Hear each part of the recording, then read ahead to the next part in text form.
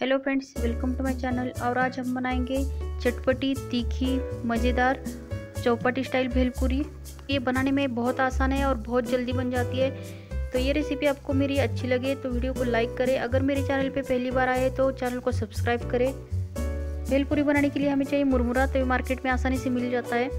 एक बड़ा टमाटर कटा हुआ, हरा धनिया कटा हुआ, दो हरी मिर्च कटी हुई, एक बड़ा प्याज कटा हुआ। तो ये सब मैंने बारीक काट लिया है। और हमें चाहिए इमली की चटनी तो ये मैंने घर में बनाई है, चाहे तो आप मार्केट से भी ला सकते हैं।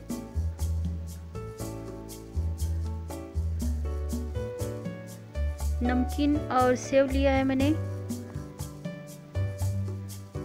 तो भेल बनाने की हम प्रोसेस शुरू करते हैं तो इसमें हम डालेंगे प्याज, हरी मिर्च, टमाटर तो हम टमाटर थोड़ा सा गार्निशिंग के लिए रखेंगे। हरा धनिया। तो हरा धनिया भी हम गार्निशिंग के लिए थोड़ा रख रहे हैं। नमकीन। नमकीन भी हमें थोड़ी सी गार्निशिंग के लिए रखनी है। अब इसमें हम डालेंगे इमली की चटनी। तो आप ये टेस्ट के अकॉर्डिंग आपको डाल सकते हैं। आप जितना खट्टा खा सकते उतना डाल सकते इसमें।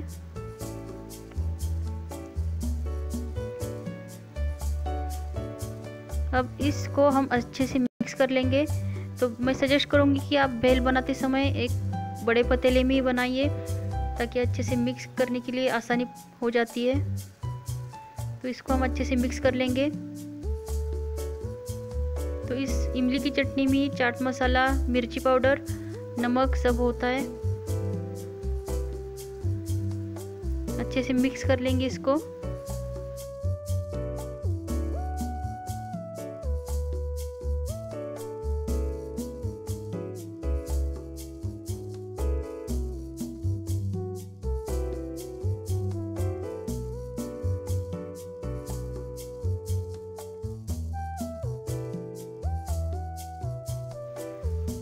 तो ये भेल हमारी अच्छे से मिक्स हो चुकी है, जैसे कि आप देख सकते हैं।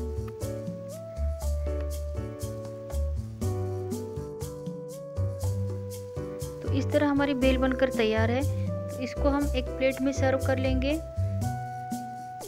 ये भेल बनाने में बहुत ही आसान है और बहुत ही जल्दी बन जाती है।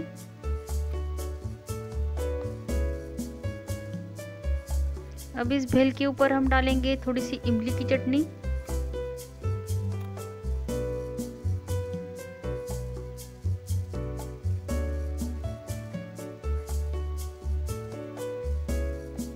थोड़ा सा कटा हुआ टमाटर थोड़ा सा कटा हुआ प्याज, हरा धनिया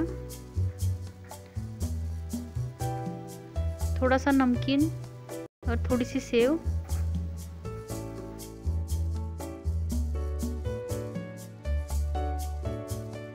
तो इस तरह हमारी चटपटी, तीखी और चौपाटी स्टाइल भेलपूरी बनकर तैयार है। ये भेल चौपाटी पे जैसी बनती है, वैसे बनकर तैयार है, जैसे कि आप देख सकते हैं। इस भेल को आप घर पे ज़रूर बनाइए और सबको खिलाइए। तो उम्मीद करती हूँ आज की मेरी रेसिपी आपको ज़रूर अच्छी लगी होगी। किसी ऐसी इंटरेस्टिंग रेसिपी के साथ तब तक हँसते रहिए, खुश रहिए और मोस्ट इम्पोर्टेंट खाते रहिए। तब तक के लिए बाबा